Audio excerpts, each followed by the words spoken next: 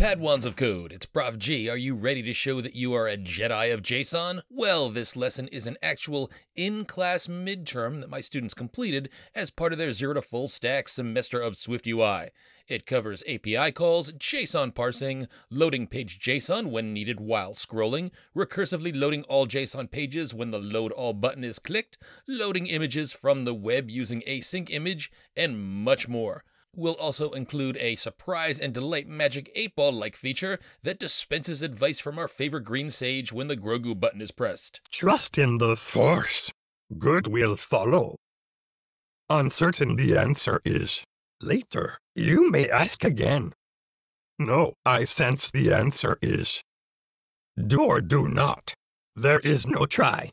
Yes, in the Force I feel this impossible to see. The future is. You can either pause the video as I show each question and try to solve the challenges on your own, or watch straight through and code along to complete the app as a tutorial, although it is assumed that you've already gone through the semester of SwiftUI course through the Catch-em-all Pokemon app lessons. You'll need those to understand the concepts used. I won't be teaching these a second time since I assume you've already completed the earlier lessons and understand the basics. But with that said, let's get our Grogu on and defend the Republic with our Star Wars-inspired Swifty skills. So, at the university where I teach, Boston College, we celebrate Star Wars Day every May the 4th. May the 4th be with you. We typically have Star Wars crafts in our makerspace. Vader, Chewie, and Stormtroopers can be seen running around campus. There are Star Wars treats, including Bantha Milk. A good time is had by all. So the premise is that Disney has hired you to create a similar app so that other universities can run their own Star Wars Day events, and your first app is the Star Wars Species app using an API call to the swapi.dev site. SWAPI meaning Star Wars API. These are some images of what the app will look like if completed properly. You'll use a progress view. When making the API call and parsing JSON, the progress view will spin, otherwise it will hide. The API uses page JSON, so you'll load new pages of JSON as you scroll. You'll see the status area below reflect how many species have been downloaded. The load all button will recursively load all available pages. This API only has 37 Star Wars species. I'm not responsible for the API, but I think it is a great educational tool. And when you click one of the species in the list, you'll see just some of the information that's available, as well as an image of that species that you'll load from the web using async image. The first questions are numbered right here. We'll create a new SwiftUI project called Species. We'll download images from this URL, so I'll highlight and copy it, and we'll do what's needed to add an undistorted launch screen using the file named launch screen, and we'll use the file named Grogu as the app's icon. Then we'll rename the content view as Species List View. So let's head to the web, We'll paste in the URL that I just copied, then right-click, select download, and download these files. Then let's launch Xcode. We'll create a new project. This is an app which is a SwiftUI project, and we'll name this species and create. Then in the project navigator, I'm going to open the asset catalog. I'm going to return to the Finder, find the files that I downloaded. I'm going to click and highlight all of the files except for grogu.png and drag them into the asset catalog. Then I'm going to click on the app icon and I'm going to find that grogu.png file and I'll drag that right into the 1024 by 1024 square and that'll be my app icon. Now to set up our launch screen, we'll click back on the project icon at the top of the project navigator, click on info, find and click the little triangle to the left of launch screen. Then I'll click on the small plus icon down here and select image name for the new launch screen. That image name is simply launch screen, all lowercase, all one word. Then by image name, I'm going to click plus again. I'm going to select image respects safe area insets, and over on the right hand side, I'll select yes. Then I'll select a scheme to build and run on and click on the play button. Again, my students have seen all of these steps before in the earlier learning videos. I'm deliberately going fast in here and not explaining things in the way that I normally do in tutorials because this isn't a tutorial.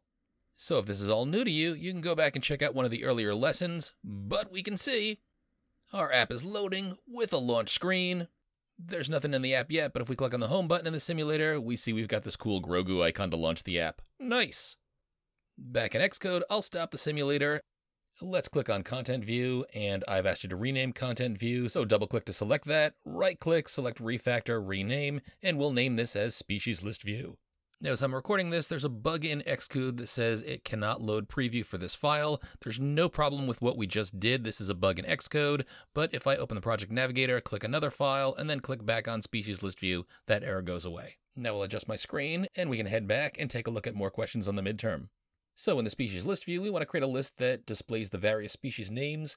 And to test this before we access the API, we're going to create an array of string values named species array and add a bunch of strings with species names. The contents doesn't matter because we are going to replace this with an API call, but I'm using these values here, so you can highlight and copy them if you'd like. The list style should be plain. The elements of the list should use the title font. The list should have a navigation title above it with the name species, and there shouldn't be any padding in the list. And after completing this stage of your midterm, the app should look like the image here. So let's code this up.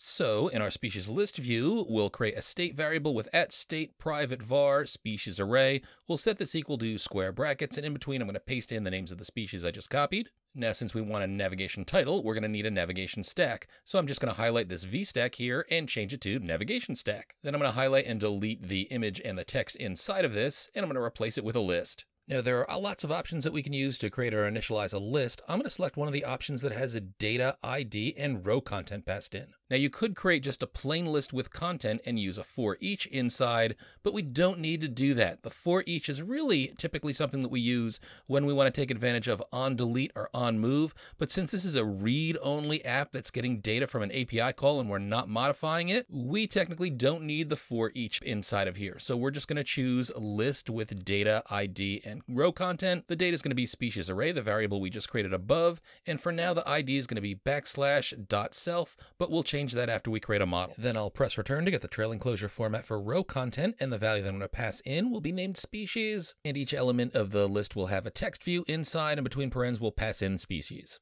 Now this list is not in the style we want, so below the list we'll say dot .list style, and we'll pass in dot .plain. We also want to add a dot .navigation title and pass in the string species. We also want to add a font modifier passing in .title, and this is almost correct, but we also want to get rid of the padding modifier below the navigation stack. So everything is pretty much flush left. Looking good. Let's move on to the next question. So we're going to be building an MVVM app. So we've got to create a new model file. We're going to call that species. This model should be identifiable and should include everything else necessary to use this to access JSON, like the data that we see at this URL. Now these values down here are spelled exactly like the keys and the key value pairs of the JSON. So we want to use these as the names of the properties in our new model. They should all be strings. So I've highlighted these and I'm going to copy them just to make it easier to set up my model. And if you happen to head over to the web page that shows this API using the URL that I gave you on the prior page, you can see that we have a bunch of key value pairs in this results array that we have here that have various names that we want to add to our model. So let's head back over to Xcode and create that model file. I'm going to right click on my species app file. I'm going to select new file, and this is a Swift file, not a Swift UI view. We're going to call this species with a capital S. Remember, when we create new structs like we do with a model here, we're in effect creating new types. The convention in Swift is to capitalize your type, so that's why we call it capital S species. And inside this file, we'll say struct capital S species colon, and we want this to be identifiable, comma, and also codable. Very important you remember to make this codable because you've got to decode JSON, and in order to do that, we need to have our structs as codable structs. Then open and close curlies. Since we're identifiable and we're building a read-only only app that downloads JSON from the net. We're not going to change any of that data. We're going to create our ID variable, which is necessary for an identifiable struct as a let constant. So we'll say let ID equals capital UUID, open and close parens, dot UUID string. Then down below, I'll say var name equals, I'll initialize all these. So I'll initialize this as an empty string. And you know what? I forgot. I'm going to paste in all of those variable names, the property names that I copied from the test itself. And then I'll modify all of these values so that they start with the var keyword and they're all going to be initialized to empty strings. They're all strings, even average height and lifespan, which look like they should be numbers, those come back as strings as well. Now, because we're not getting the ID property from the JSON, but we're getting everything else from the JSON, we want to set up a coding keys enum that has all of these properties except for ID. So we'll say enum capital C coding, capital K keys, one word, colon, then capital C coding, capital K key, singular, one word, open and close curlies. We'll say case I'll paste in all of those names that I'd copied earlier, and we'll just remove the dashes and put commas after each one of these property names. So with this, the model's going to be done, and now it's time to create a view model, and that's what the next question asks. We're going to create a view model called species view model and do everything necessary so that it can be used as a view model for this app. There should be a property visible throughout the app that when changed should trigger SwiftUI views using this value to redraw. So that's a big hint that we should create a published value wrapped with the app published property wrapper. This value should be named species array, which should initially be set to an empty array of species structs. Now, I also specifically ask you to create a struct called returned that will allow you to decode the following JSON elements from the data returned by the API.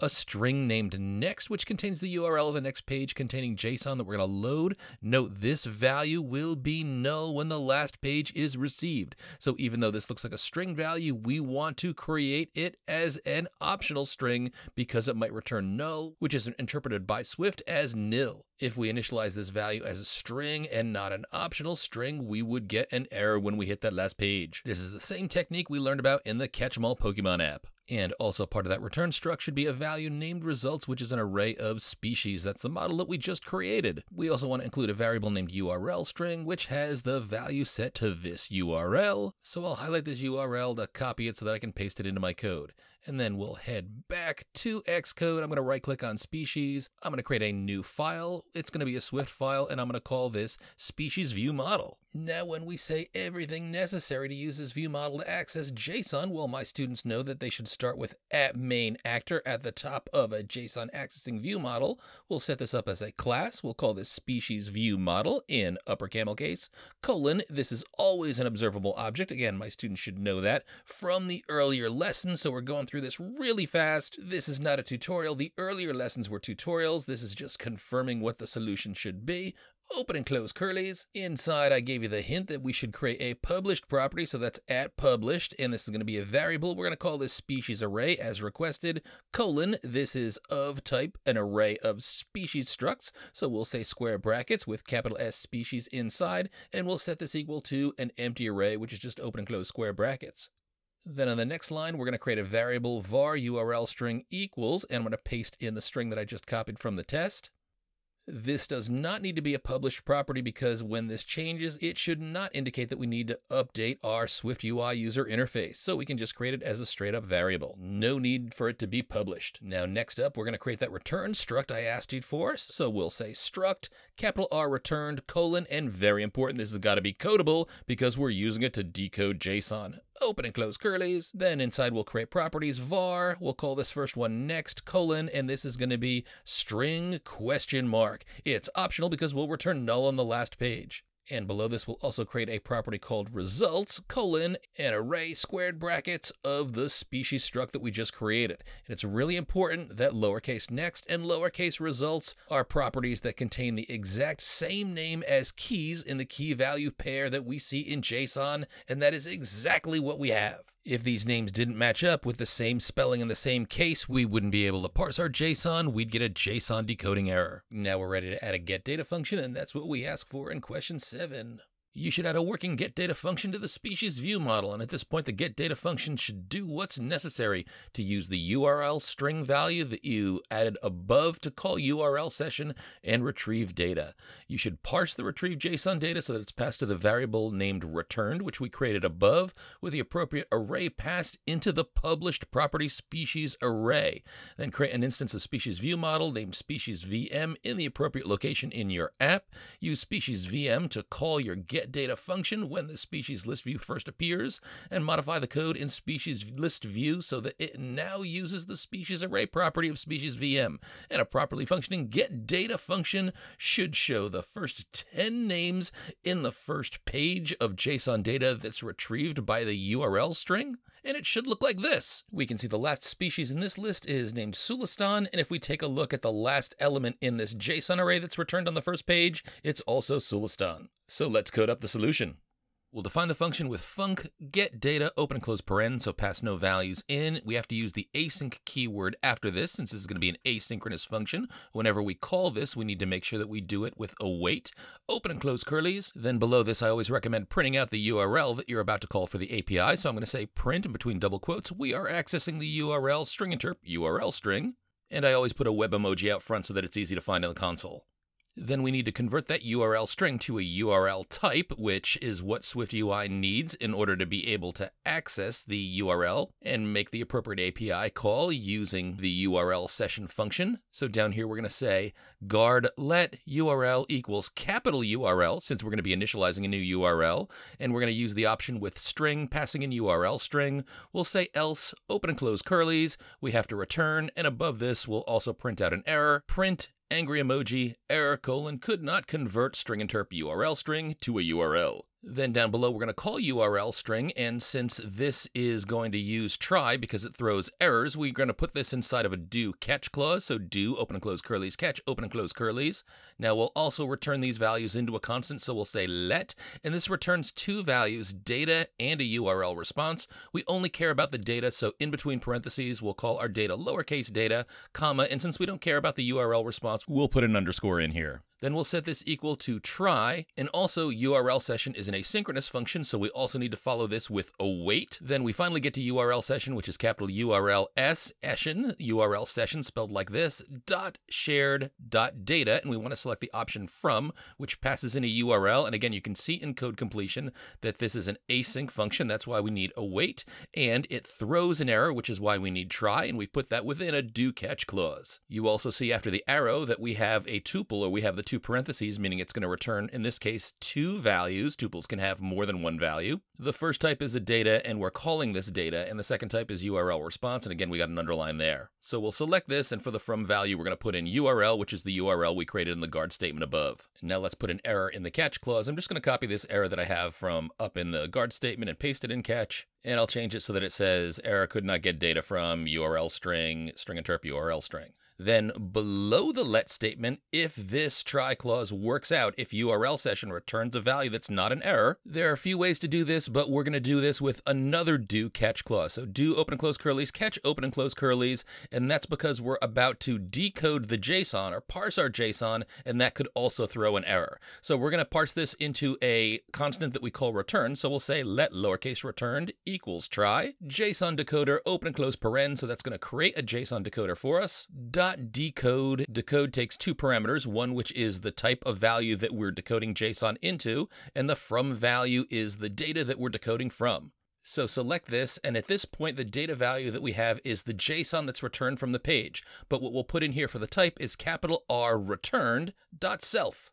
Remember, returned is this struct that we created up here. It absolutely has to be codable, and it is. We see that it also has an array of species structs that's part of it. That's what this results property is, and if we take a look at our species struct, we can see that that's codable as well. So everything that we decode and everything that's nested inside of it all have to be codable. If you don't do that, you're going to get an error. So again, we're decoding from this data constant that we created above, and in the catch area here, I'm just going to copy the error that I have down below, paste it above, and this is going to be a JSON error. Oftentimes, this is where students run into problems because what they're trying to pour JSON into doesn't match the structure of the JSON that we see on the web page. So that's why I like to flag this specifically as a JSON error. And if this error occurs, we're also going to print out could not convert data into JSON. And in the string interp here, I'm going to say error.localized description. So if you ever hit this line, that means that the structure that you've created to decode the JSON into does not match the JSON. Now, if this works, what we could do down here is simply print returned colon string interp returned to print out the results.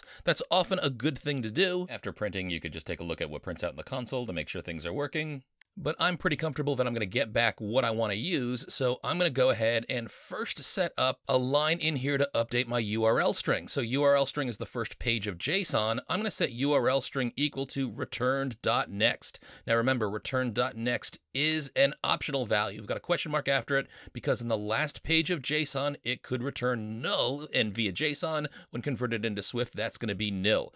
So if return.next is nil, we'll use nil coalescing, which is two question marks, and on the right side of the two question marks, we'll put in an empty string, which just means if return.next comes back as null, and it is in fact nil, we'll put an empty string value into URL string. Also below this, we want to take our species array, which is our published property, and set this equal to returned.results. And since species array is published, once that changes, it's going to trigger SwiftUI to redraw our user interface. Nice! Now we've set up our getData function, but we've got to call that getData function, and we're going to do that from species list view. We're going to replace the state variable that we set up simply to make sure that we could create a list in our navigation stack here. So I'm going to delete this state variable here, and I'm going to replace that with state object. We need to create an instance of or an object from our species view model class. So that's going to be a state object. We do that with the first first instance we create from observable object. Remember, our view models are always set to colon observable object when we define them, and we'll follow state object with var. We'll call this species VM, lower camel case, and set it equal to upper camel case,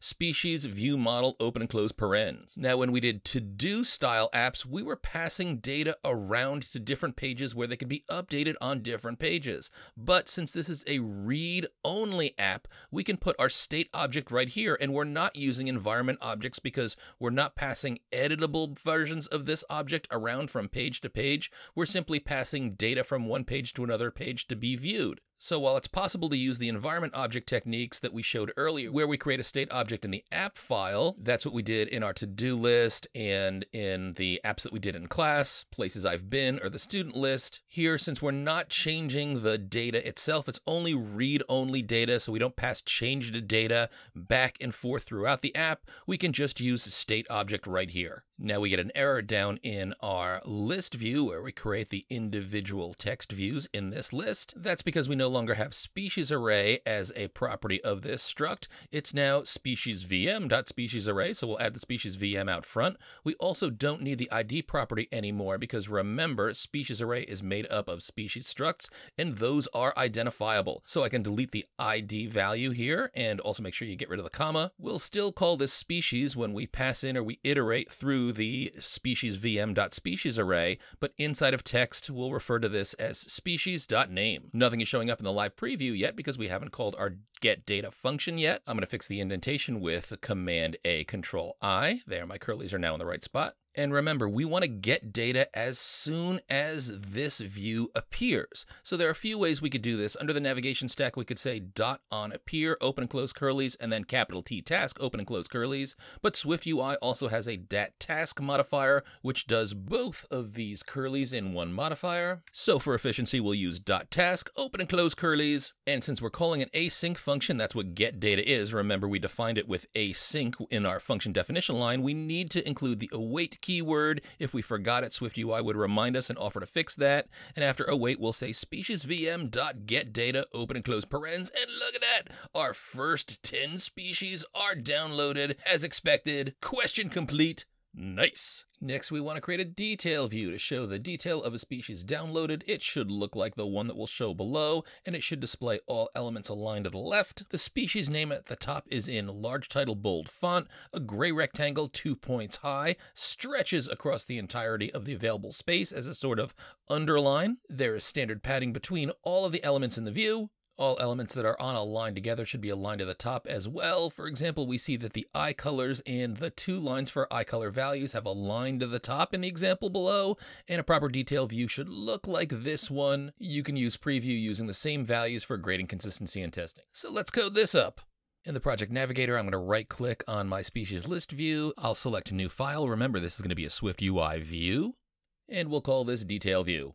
Now this is going to show detail on a species, so we need to pass over species. So in here, we want to display all of the data on the species. That's going to be part of a species struct. And since we don't need to modify this, and we're going to be passing the species over via a navigation link that we're eventually going to add in the species list view, we can declare this as a constant species colon as type species, and we don't need to initialize this. We're going to pass in the initialization from the species list view. This is the same technique that we used in our Game of Thrones app. There's no problem if you created this as a variable in here, but it doesn't need to be. Again, it shouldn't be initialized because we're going to pass the value in from species list view. Now, because we've got an uninitialized property of this struct, we need to change our preview provider down here. So I'll backspace over the empty parentheses in detail view. And if I start to type parens again, we now see that it wants a species value in here. So we'll press return and we'll initialize this with capital S species. I'll select this option down here to make sure that I'm passing in some placeholder values that I can use that will render in the preview provider that's the live preview over on the right. Remember our pro tip from earlier lessons and in class, hold down the option key and that will automatically select all of the properties to initialize this species. And I'll enter a bunch of strings for these different values. The name will be Swifter,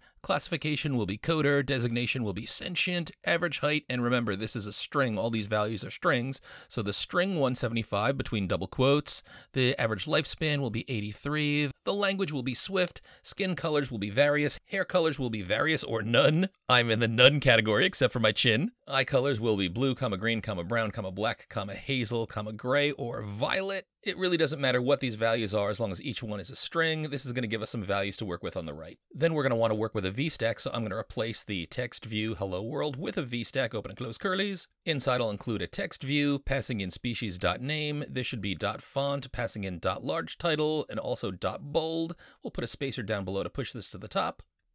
Now I want the elements of the VStack to be aligned to the left, so I'm going to include parentheses after the VStack and say alignment colon dot leading, and we don't see this change, and that's because even though the elements inside the VStack are dot leading, the VStack itself is going to be centered inside the view, and it's only going to take up as much space as it needs. Now we're going to rectify this situation down below, and we add our rectangle, so we'll add just after text, rectangle, open and close parens, and we'll follow this with two frame modifiers. One dot frame setting the height parameter to 2, and the next one, the dot frame parameter, has a max width colon of dot infinity. Look at that, it spreads that out across the view. We'll also add a dot foreground color, setting this to dot gray. And to make sure this doesn't touch the sides, I'll add a dot padding parameter below the curly that closes the VStack. Now I want the two items of text to be aligned on the same line, so I'm going to put them in an H stack. One element is going to be bold and the other isn't. If I didn't do that, I would see a misalignment of values. So I'll say H stack, open and close curlies, text passing in the string classification dot bold, and after this we'll say text passing in species dot classification. And just to show you this issue with aligning things at the top here, I'll do it up front so that we can copy the way that we set up the H stack and save ourselves a little bit of time, I'm going to change the text down here just temporarily to species.icolors. You see how the default for aligning H stack is to align these items by their middles, so I can put parentheses after the H stack and use the alignment property colon and pass in dot top. And in the event of whatever we pass in as the species property in here is larger and it goes on more than one line, this will align things nicely by the tops, which is what we want, and that's also what we showed on the test. So now that this one H stack is what I want, I'm going to highlight this, copy it, I'm going to paste it down below. I'll change the text here to designation, and this is got to the right of it, species.designation. Oh yeah, and I've also got to change my classification back here to species.classification. I'll paste another copy of this H stack down below change this to height and species.average height. And next to height, I also want on that same line lifespan. So I'm just going to copy these two elements here, paste them down below, and change this to lifespan colon. Oh yeah, and for consistency, I want to have colons after all of my static text in here. So I'll do that and make sure after lifespan, I'm looking at species.average lifespan. And I want to put a spacer between the height and the lifespan. Just make sure I do that in the right spot. And we can see that pushes those two different portions of the H stack out to the two different ends. This looks good. Now I still have a few more of these H stacks with the two elements inside, so I'm going to highlight and copy this again and paste it down below. And I think I want four more copies of this. So the first one's going to be language, colon, species dot language. The next skin color, colon, species dot skin colors. Hair colors, species dot hair colors. And the last is going to be eye colors, colon, species dot eye colors. Now I also want to change the font of all of these values here. So what I'm going to do is go up to the first H stack and I'm going to hold down the command key and I'm going to embed this in a group. Then I'll highlight all of these other H stacks, cut them out with command X, paste them inside the group, and down below the closing curly of the group, I'll say dot font, passing in dot title 2, and that looks good. And we should see this looks exactly like the image that we showed in the test, and it does. On to the next question. You need to add a navigation link to the species list view so that when you click on a species, that species loads into the detail view. Also, when you set this up, there should not be an additional space at the top of the detail view where the navigation title might be. So let's build this. We'll head to the species list view, and just under the list inside the list, I'm going to add a navigation link. I'll select the option with destination and label. The destination is going to be detail view. It wants a species, so we're just going to pass in lowercase species, the item that we're iterating through when we iterate through the species array. And one thing to look at is if we head back over to the detail view, we're passing in this value and we're using it as the constant let species up here. It's of type species. We haven't initialized this because it's being passed over from that navigation link we just set up. So cool. And back in our species list view, we'll just move the text over to the label area. Now let's try out the awesomeness. We'll click on Wookie and we see it in the detail. Now we also see that we've got this big gap up top and we only see that when we navigate over from the species list view. If we look at the detail view, we don't see that big white space gap up top. We don't see it here because we're not embedded in the same navigation stack that we use when we come over from species list view. But when we come over from species list view, we see that gap because we need to set the navigation bar title mode to inline. Otherwise, it assumes a large title mode. Since we don't have any title in here, it just gives us a big, large white space. So to eliminate that white space, just below the padding in the detail view, I'm going to add dot navigation bar. It's titled display mode. In between the parentheses, I'll say dot inline. We're not going to see any change on detail view, but if we head over to species list view and click on an item, now we see we don't have that big gap of white space at the top. Things are looking good. Now on to question 10. We want to do everything necessary to add an image to the detail view. Note the following. Images can be accessed from a URL with this format. So I show you a URL. I've got name highlighted and italicized in here and say where name is the URL above just before .jpeg, where that is changed to the name of the species to be displayed. So for example, humans would be this one here. Note it says human in there just before JPEG. And I'm also going to highlight and copy this URL so I've got something to work with on the clipboard. Droid would be, and we see this URL, the same thing, but we've got droid just before JPEG. Note that the H in human and the D in droid are also capitalized exactly as the name is listed in detail view. Images should be centered horizontally within the iPhone screen, and images should display the system's SF symbol photo as the placeholder. And note that the image fits into the available space. Retain the width by height ratios, and make sure that they have a corner radius of 15 with a shadow that is also a 15. Also note the image should display with a default animation, which fades them in very quickly when loading. An important note, some species have spaces or apostrophes. These don't work well with image URL, so you should write a function named return species URL, which creates a value with any spaces in a species name replaced with dashes and removes any apostrophes, single quotes from the value, and it should return the URL containing the resulting value, i.e., the name modified accordingly, meaning spaces replaced with dashes and apostrophes removed so that it can be incorporated into a URL that you will use to find the appropriate image. For example, if the species is Yoda's species, calling return species URL should return and we see the URL down here, but Yoda's species has no apostrophe and it has a dash between the S and the S in Yoda's species. But calling return species URL on human will simply return the URL with the word human in here. At this point, all species images should show when clicked on from the species list view. The first example down below shows the view from the detail view, so we've got the photo SF symbol in there, but the others are what you should see when navigating from the species list view. And just to show you what we get with that URL, if you ever want to test it, we can click on the human URL up here, and we see a big image of the humans loaded in our browser. And if I highlight the word human in the URL and replace that with Yoda's species with a capital Y and a dash dash between the S and the S in Yoda's and species, press return, we see the green sage in here as well. So let's code this up. We'll head over to the detail view and just above the spacer, this is where we're going to use async image. Remember, async image allows us to load an image from over the web. We've got lots of different options in here, but we want to select the one with the URL, the content, and the placeholder. Remember, we're going to have our SF symbols photo in there as the placeholder. For the URL, we need to convert a string to the URL. So we're going to highlight the URL initializer in here that passes in the string. For now, between double quotes, I'm just going to paste in a string that I'd copied showing the URL for humans from the test. I'll tab over press return for trailing closure format. I'm going to refer to the image that I'm working with as lowercase image. Then down here in the code, we'll refer to lowercase image. Again, that's our image view. And below that, we'll say dot resizable, open and close parens, dot scale to fit, open and close parens. We'll also add dot corner radius 15 and dot shadow with a radius of 15. And we want to perform an animation, so we'll say dot animation dot default, and that should change whenever our image changes. Then down here for the placeholder, we'll use a capital I image view in here, selecting the option with system name, and in between quotes, we'll pass in lowercase photo. We see the photo briefly and our image of humans over on the right. This is looking great. Let's make sure we make that system image photo dot resizable and dot scale to fit. And now let's make sure that we craft an appropriate URL for the species name that we're working with. So I'm going to highlight and I'm going to cut out this string up here. And as requested in the exam, we're going to write a function down here, func. It's going to be called return species URL, open and close parens, pass nothing in there,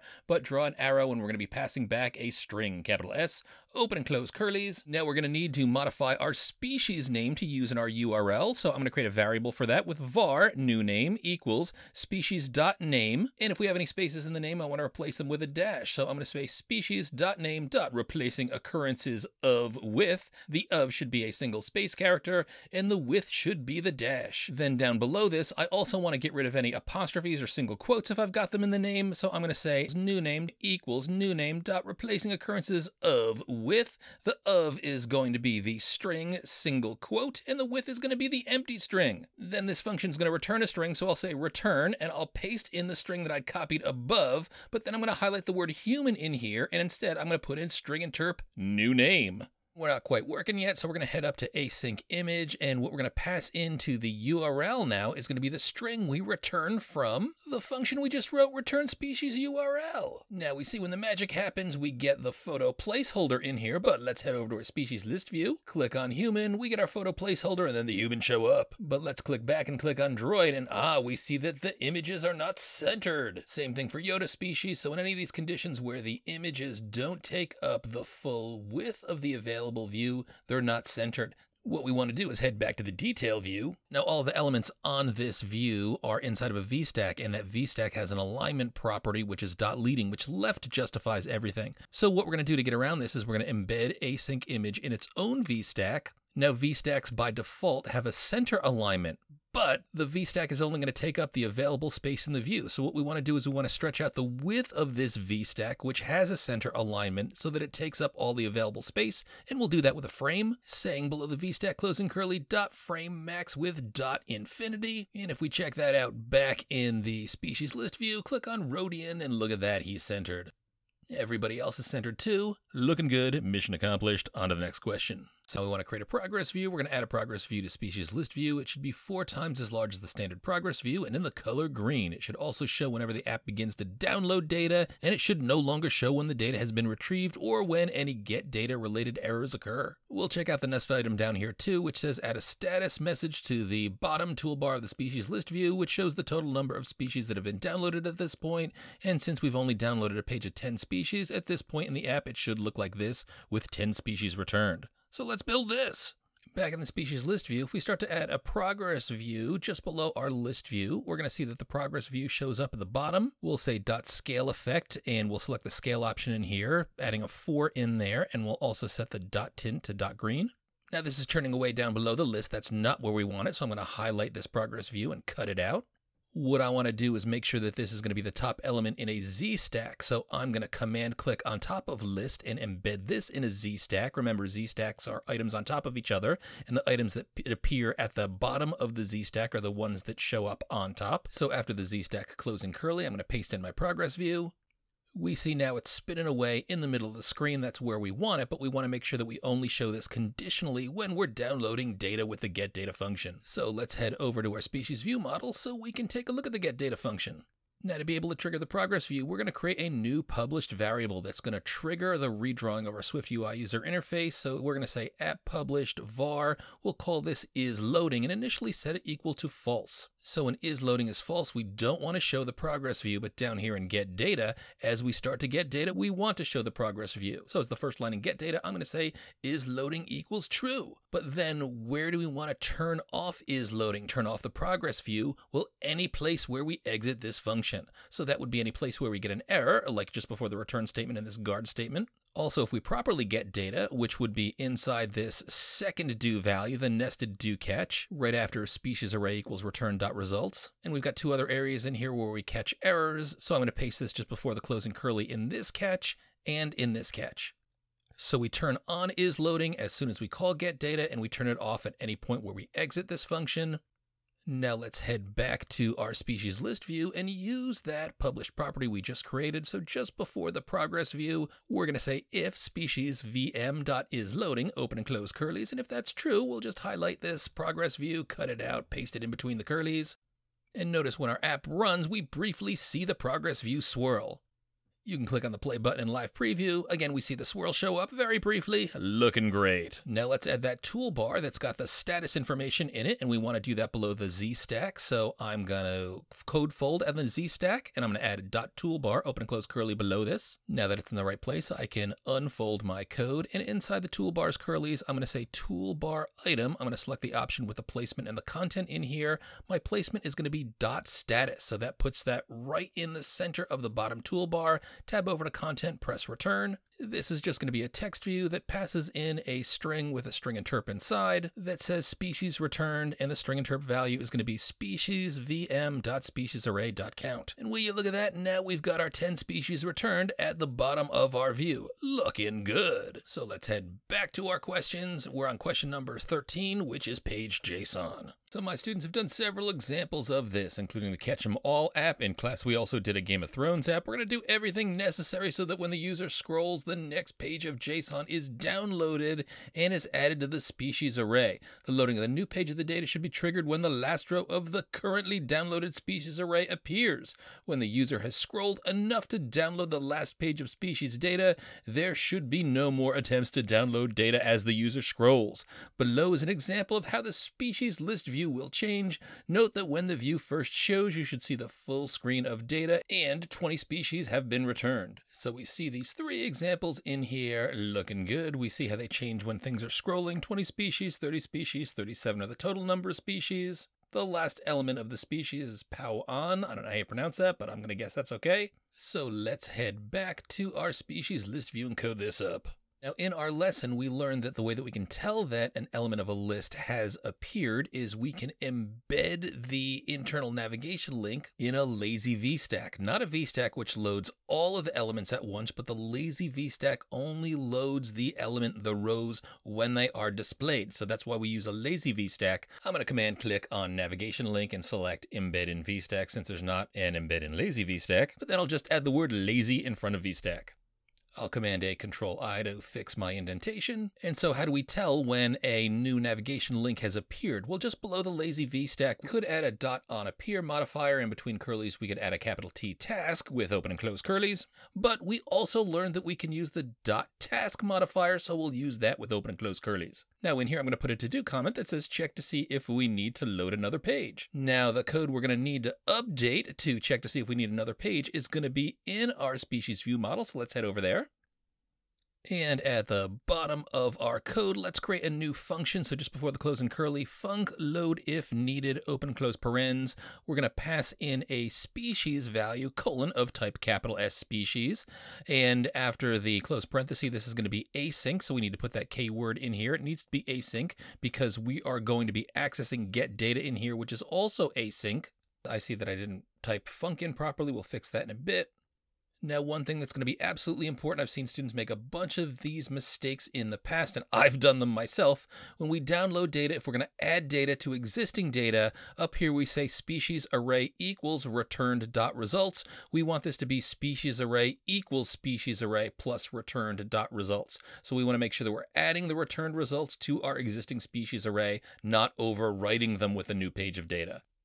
And if you wanted to, you could use the shorthand in here, species array plus equals return dot results. Now, how do we know if we need to load another page of data? Well, as the first function in here, what we're going to do is we're going to get the last element of the species array. And we're going to see if the species we pass in is the last element in the species array. If it is, then we must have scrolled to the last element, so we should call get data again to load another page of JSON. So we'll use a guard let statement for this. We'll say guard let last species is what we'll call it. We'll set that equal to species array dot last. Now, the reason I use a guard let statement in this is it's possible that species array dot last will return a nil if there is no last element. That would be if our species array had no elements inside of it. That should never be the case for our code, but Since this returns a nil, we need to deal with the possibility of a nil, so that's why we're using guard let in here. We'll follow this with else and open and close curlies with return in here. We'll leave it all on one line. But on the next line, we want to check to see if the last species.id equals equals is the same as the ID of the species that we passed in. That would mean that we've scrolled to the last element of the species array, and we need another page of JSON, so we should call get data. Now, if this is true, in between curlies, we want to call await get data, open and close parens, and again, we have to use await in here because get data is an async function.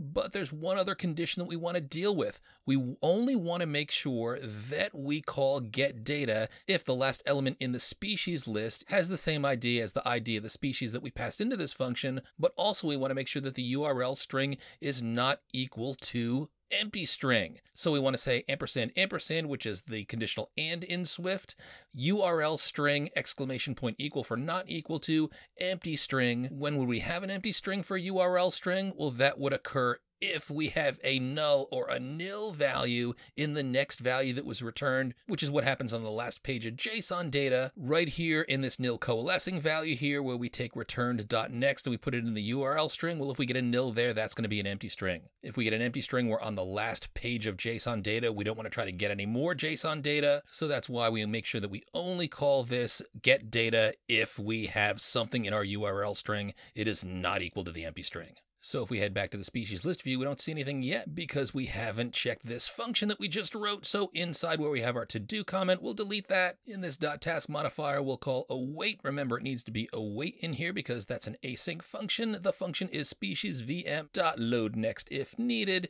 and we're going to pass in a species, which is species. And look at this, over here on the right, we download 20 species right away, and if we scroll, we get 30 species. If we scroll again, we load another page of data, that'll be 37 species, and that's the last one. Notice our last species is power on. This is perfect. In fact, if we head back over and take a look at our JSON, and we continue to click on the next URL up here, we load the next page of JSON, the next page of JSON, and the very last page, we see that our next value is null, and we scroll down below and we see the last species is Pau'an. Everything's looking looking great. Click on these guys, looking kind of spooky, but loading perfectly. So that's dynamite. Let's head back over and tackle the next question, which is adding the load all button. Add a load all button to the lower left as shown below. The button should be bold and plain style, and when clicked, it should load all the pages of JSON and update the app as expected. And specifically, you should use a recursive function in the view model class to perform this task.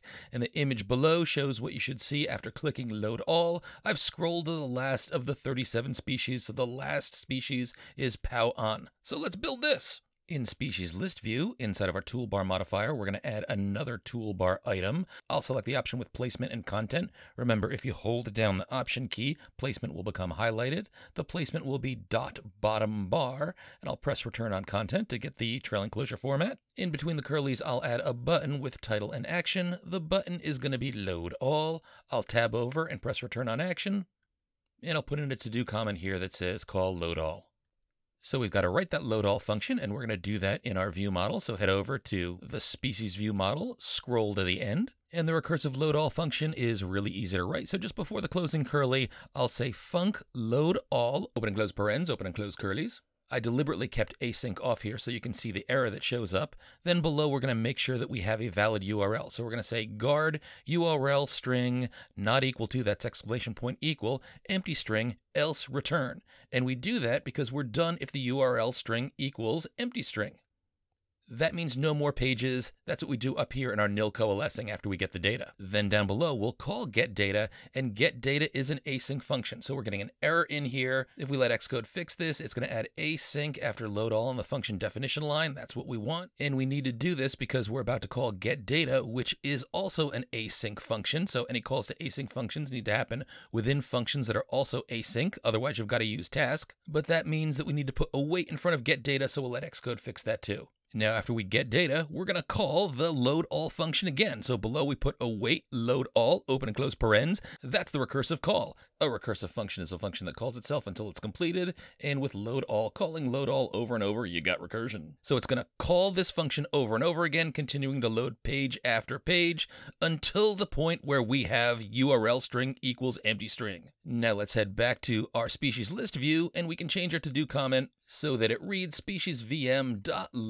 all open and close parens, but this is not everything we need because we are calling a function that is async. Now we're not inside a function here, so we don't add async around our function definition. There is no function definition, but we simply use a task clause here. So we'll say capital T task, open and close parens, and inside we'll make sure that we call await species vm dot load all open and close parens. Now let's click load all, and hey, look at that. We see that we've got 37 species downloaded, and if we scroll to the end, we can see Pau'an is indeed the last species loaded. Nice. We can click on that guy. That spooky guy loads. Looking good. If you click again, we're not loading multiple pages here. We're done loading. Everything's working fine. And now let's tackle the last two questions on the exam. So, as you know from your online lessons, Steve Jobs used to regularly say that Apple technology should surprise and delight the user. So, you'll add a little bit of Apple style magic to your app by including a Yoda button in the lower right hand corner that will produce spoken advice similar to a magic eight ball. And you'll build it like this you'll add a button to the lower right of the bottom toolbar. You will display an image peek. That's an image that you downloaded and it should have been added to the asset catalog earlier on in the exam. And this image is of a peeking Grogu. You want to size it so that it's not distorted and that it displays in a frame that's only 25 points high. Yes, the button is Grogu and not Yoda, but he's cuter. And when the button is played, play a random sound from the sounds named 0 through 8 in the Yoda sounds folder that you should have added to your assets catalog. Also, very important, the same sound should not be repeated twice in a row. Also, set the accent color to green, so in honor of Yoda, Grogu, and many other species, change the app's accent color. Very important. It says change the app's accent color, so you should have known to do that within the asset catalog, to system green. Now, I do advise that at the time of recording, there's a bug in Xcode where you might not see any changes to the accent color in the live preview, but if you build and run in the simulator, you should see the change, and then it should also show up in live preview next time you refresh that. So if it's working properly, you should see load all in the back button as you see below, and the load all button should work when you press the Grogu button, and it should dispense Yoda style advice. So let's code this. So to add the button in the lower right, we head over to the toolbar modifier in our species list view. And just before the closing curly and dot toolbar, we're going to add another toolbar item. Hold down option and select the option with placement and content. The placement here is also going to be bottom bar, but it will move the button over to the far right. Then tab over and press return to get the trailing closure format. And we're going to add a button here and select the option with action and label. Press return for the trailing closure format. Our label is just going to be image and in between quotes peek, P E E K, lowercase, and it's massive, but we know what to do. We'll just say dot resizable, open and close parens, dot scale to fit, open and close parens. And I specifically say that you should restrict the height to 25 points, so also add dot frame with a height of 25. Looking good. Look at that Grogu peeking. Now, in order to play sounds, we need to import AVF audio up top, and we also need to create a state variable that's an audio player. So we'll say at state private var audio player colon AV audio player with an exclamation point. So we define this as an implicitly unwrapped optional, but we don't initialize it. Very important to make sure you got that exclamation point after AV audio player. And to make sure that the same sound is not repeated more than twice in a row, we'll add a state variable at state private var, and we'll call this last sound, and we'll initially set this equal to negative one. That's a sound that does not exist, and that'll ensure that the first random sound that we come up with will be played. Then for our button action, we're going to say var next sound colon int. So we'll declare a variable called next sound, but we won't initialize it. And then we'll use a repeat while statement. So we'll say repeat open and close curly we'll set next sound equal to int.random in 0 triple dot 8. That's because we have sounds from 0 to 8. And after the close curly, we'll say while next sound double equals last sound. So this is going to continue to repeat generating new random sounds until we've generated a new random sound called next sound that is different from the last sound. Now down below this, we're going to want to play sound, but we haven't written our play sound function. And again, our students did all of this in their very first app. You are awesome, so everybody should know how to do this. Before the closing curly, we'll add our function play sound. Between parens, we'll pass in a variable called sound name, colon, which is of type string, open and close curlies, and then inside, we'll first make sure that we can read the data from a file with the name sound name from our asset catalog. So we'll say guard let sound file equals ns data asset, selecting the option with name passing in a string. That's going to be sound name, else open and close curlies. And if this doesn't work, we'll say print passing in angry emoji, error colon could not read file named string interp sound name. Then always make sure that your guard let has a return in between the curlies. But if that works, let's get the data inside that file and play it. So we need to do that inside of a do catch clause because this could throw an error. So we'll say do open and close curlies, catch open and close curlies. I'll copy and paste my error statement up here, paste it in between the catch, and I'll change this so it prints out error, string interp, error.localize description, creating audio player.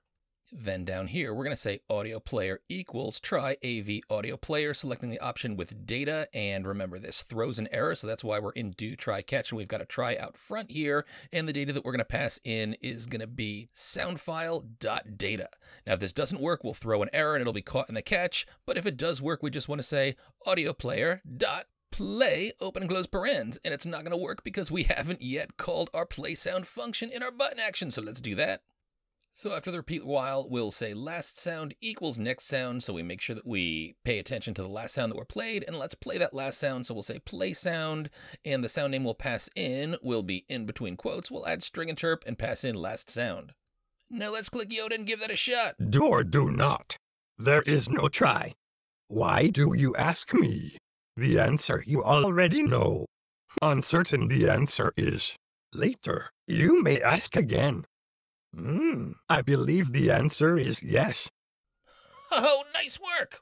That's a delightful addition, in addition to being able to browse and check out the species. Now to finish this off, let's change the asset color, and we do that inside of the asset catalog. So open up the project navigator, click on asset catalog, and we see accent color up top, so click that. Then we'll click the box that says universal, Open up the identity inspector down here under color, click on the content option, select system green, this is now the accent color that will be used as a default color for our button, so let's click on our species list view and try this out. And oh, we see load all showing up in green. If we click on any of these guys, we also see the back button to species also shows up in green as well. As mentioned, if your Xcode wasn't showing this, it was a little buggy. All you need to do is build and run the simulator and then come back and the green should be showing up fine. But Swifter, I hope this exam worked out well for you. And if you struggled at anything, I hope reviewing the exam here was very helpful. If you're one of our friends that's following along via YouTube, I hope you found this interesting as well. If so, make sure you leave a comment down and like the vid. Remember, our entire class, including all the learning videos, is online on the YouTube channel bit.ly slash prof g swiftui. I hope you come back for more Swifty goodness. Continue to hash.